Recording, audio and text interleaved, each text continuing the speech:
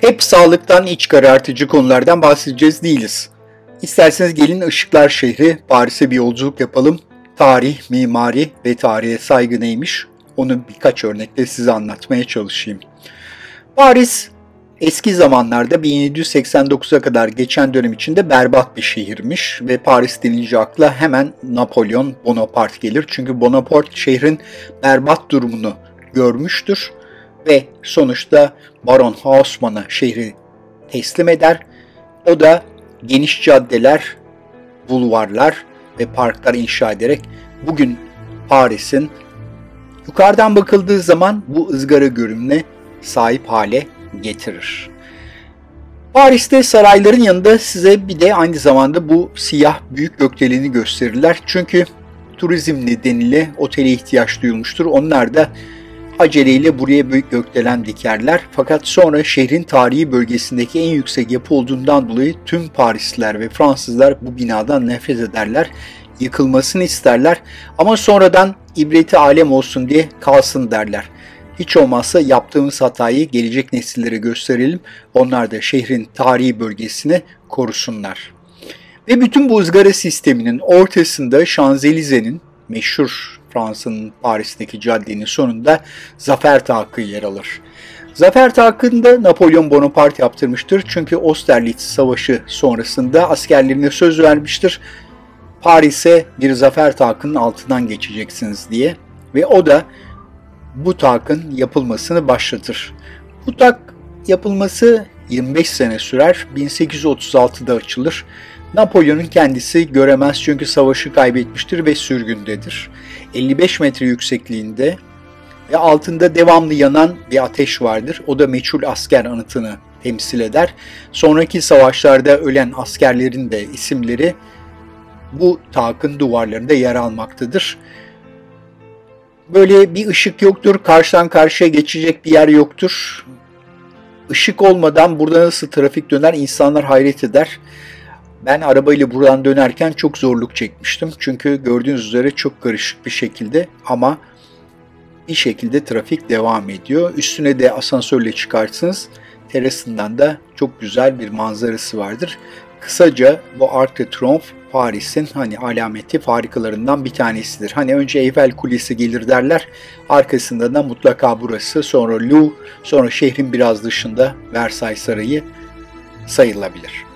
Peki Napolyon Bonaparte bunu görmemiş, maalesef görememiş ama sürgünde öldükten sonra kendisinin cenazesini buraya getirmişler ve takın altından ancak cenazesi geçebilmiş. Ondan sonra da Paris'te kendisine bir mezar hazırlanmış ve o mezara gömülmüş Napolyon Bonaparte. Yani şehrin son halini görmek adama kısmet olmamış.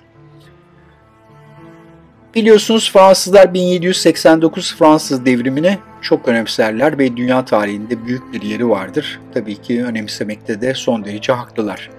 Tabii 1789'dan sonra aradan 200 sene geçer 1989'a doğru gelinmektedir. Ve o zaman ne olacaktır? Fransız devriminin 200. yılı kutlanacaktır. Dolayısıyla bir takım hazırlıklar yapılır ve o zamanın Cumhurbaşkanı, Fransız Cumhurbaşkanı Mitterrand da şehre çok sayıda yeni bina, modern yapı yaptırır. Onlara öne koyak olur. Ve bunun yanında da şehrin gökdelenlere ihtiyacı olduğu için bir bölgede gökdelenler için ayrılır. O bölgede La Défense'dır. Ve La Défense da tam bu Zafer Takı'nın karşısına denk gelmektedir. O büyük caddelerin sonunda karşı karşıya bir bölgedir. O bölgeye yeni bir zafer takı, daha doğrusu bir ark yapmaya karar verirler. Fransız devriminin 200. yıl dönümünde. Yalnız bu savaşı ve askerleri temsil eden bir anıt değil, kardeşliği, barışı, gelişmeyi ve modernliği temsil edecek bir yapı olmasına karar verirler. Bir yarışma açılır ve yarışmanın orijinalini bir Danimarkalı kazanır projede.